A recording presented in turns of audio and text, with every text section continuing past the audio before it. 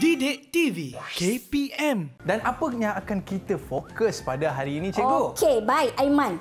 Sebabnya kita minta oh, maknanya uh, ibu dan bapa masuk kelas kita sekali.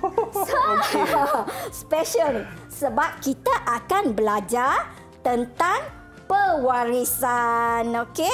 Baik. Pewarisan tajuk kita di mana standard kandungannya adalah merupakan pembiakan dan pembesaran manusia. Baik, jadi maknanya kita punya objektif pembelajaran pada hari ini ialah yang pertama ialah murid dapat memerihalkan bahawa anak mewarisi ciri daripada ibu atau bapa atau keturunan dia. Okey, Aiman tolong saya. Boleh, cikgu? Okey, cuba Aiman baca Aha. objektif kita yang kedua. Okey, cikgu. Objektif kita yang kedua adalah menjelas ah, melalui contoh ciri yang terdapat pada anak diwarisi daripada uh-huh. ibu, bapa atau keturunan seperti warna kulit, warna mata dan jenis rambut. Okey, betul tu Aiman. Kemudian yang ketiga ialah murid dapat mengitlak bahawa ciri yang diwarisi pada diri seseorang itu adalah apa dia? Sambung Aiman. Ah, Ah. ciri yang diwarisi daripada seorang Ah. adalah daripada Keturunan. keturunan, berdasarkan salah sila keluarga. Jadi kita harap apabila tamatnya pelajaran kita hari ini murid-murid dapat mencapai objektifnya. Aiman, nak Ya, tanya lah cikgu. Aiman. Aiman tengok tak video kita pada permulaan tadi? Eh, tengoklah cikgu. Tengok. Mhm. Tadi Puan Syikin dan Puan Mhm. Yati dia ada Okey. berbual tau. Okey, jadi Puan Syikin kata Alisa ni dia mirip kepada ibu dia atau ayah dia? Uh, mirip kepada ayah dia. Ayah Ah. dia. Ah. Ha, sebab ada keluar gambar pada akhir video itu kan. Betul, cikgu. Nampak memang Alisha tu serupa. Tetapi kita tunggu dulu. Mm-hmm. Baik, kita tengok dulu apakah ciri yang biasanya diwarisi oleh uh, apa dia? Uh, Seorang anak. Seseorang Mhm. anak. Okey. Baik, kita ada keluarga Julia. Mhm. Okey, jadi tengok ada ibu, ayah dan juga anak-anak. Tapi saya nak fokuskan kepada ibu dan juga anak dan bapa kepada, Bapa kepada anak tersebut. Okey. Baik. Kita, apa itu Aman? Okey, silakan, saya sambung ya. Mhm. Okey. Baik. Jadi, maknanya kita fokus kepada uh, ciri warna iris mata. Ha. Okey. Jadi, iris mata ialah merupakan bahagian di mana? Okey. Dari rajah kita lihat, okey, bahagian mata kita kan. Bahagian tengah tu dinamakan sebagai anak mata. Anak mata. Anak mata biasanya berwarna hitam. Tetapi yang mengelilingi anak mata ialah iris mata. Jadi ada pelbagai warna iris mata. Ha, okey. Baik. Jadi tengok. Di sini kita tengok warna iris mata uh, apa dia Julia warna coklat. Warna iris mata ibu juga coklat. Bapa warna hitam. Bukan bapa warna hitam. Iris, Iris mata warna Bapa hitam. berwarna hitam.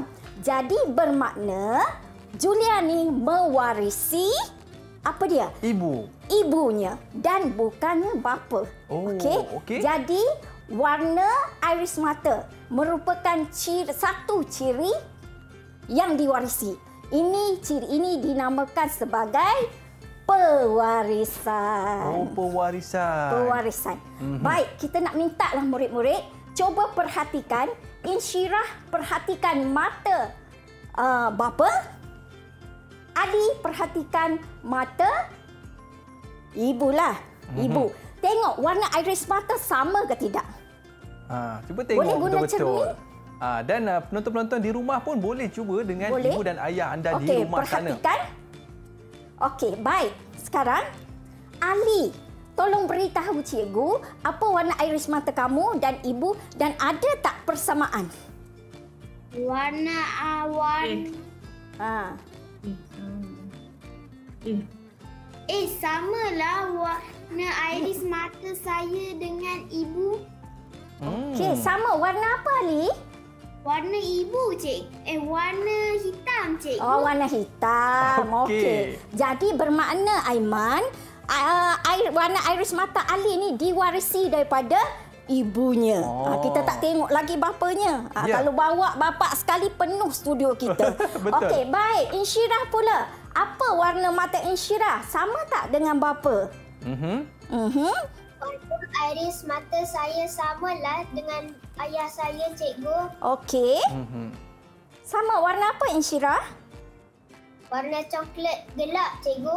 Warna coklat gelap. Gelap. Okey, ini Okey. bermakna Aiman Mhm. Makna samalah warnanya. Samalah tu. Pewarisan lah. Mewarisilah. Ah, betul lah. Okey, baik cikgu. Ah, Berapa ya, bintang ya. yang boleh kita beri kepada Ah, murid kita, cikgu?